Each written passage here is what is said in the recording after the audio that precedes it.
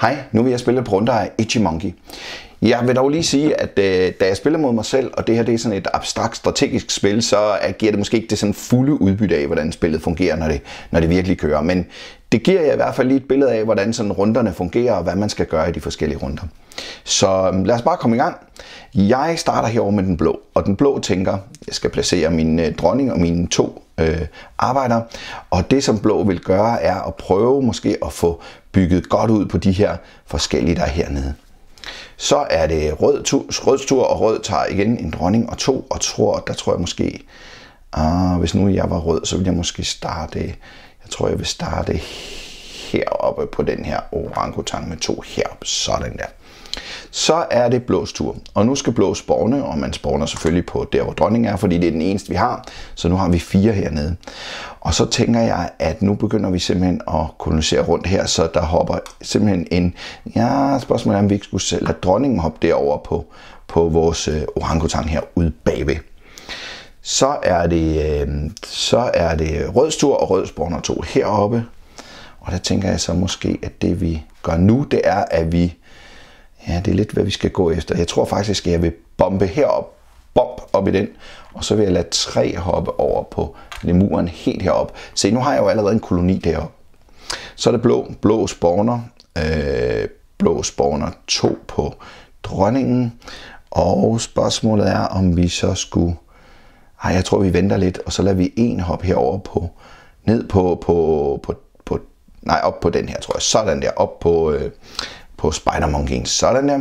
Så er det rød. Rød spawner selvfølgelig to her på, på, den, øh, på orangutangen med dronningen, og så kører rød herned.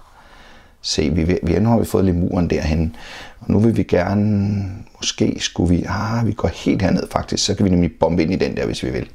Sådan der. Så er det blå.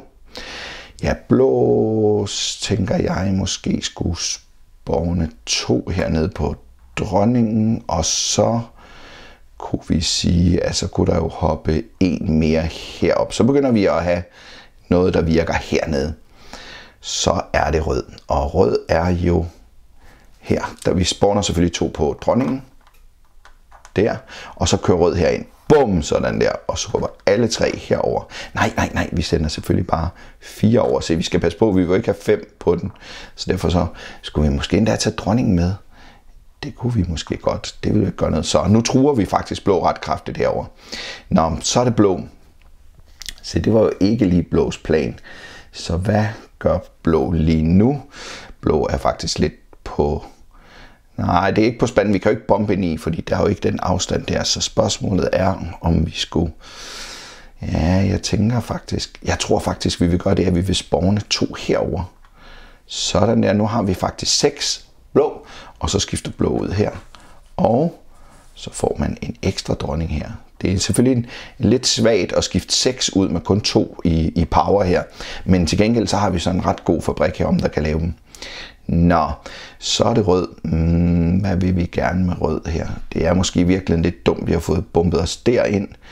Jeg tror faktisk, at... Øh, ah, det var måske faktisk lidt dumt træk, vi lavede der.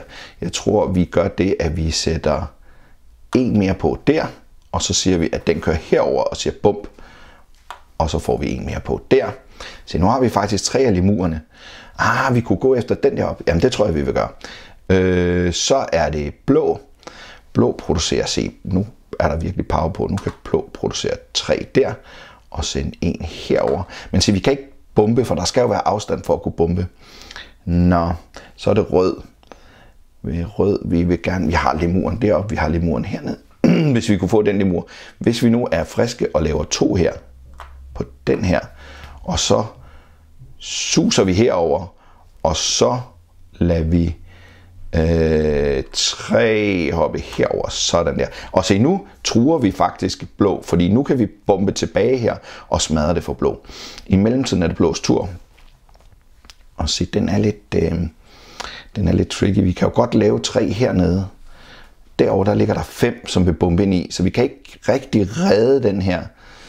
Uh, hvad kunne vi gøre? Hvad kunne vi gøre? Jamen, den er jo faktisk lidt på spanden, den her, fordi et bump her vil jo bare skubbe dem alle sammen af.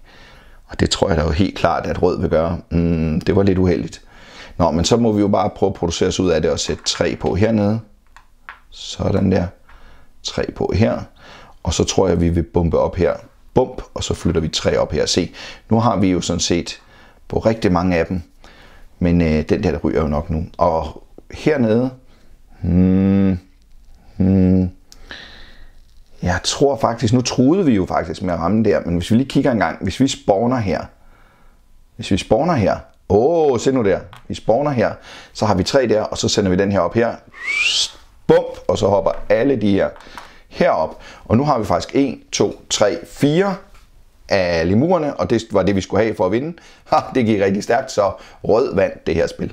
Øh, og øh, fik i virkeligheden truet blå til at blive bange og gøre alle mulige andre ting. I virkeligheden skulle, skulle øh, blå måske have været lidt mere aggressiv over for rød. Nå, men det var et meget hurtigt spil, Ichimonki, men jeg håber, I øh, kunne se, hvordan flowet er sådan et spil øh, ud fra det her meget korte spil. Tak fordi I kiggede med.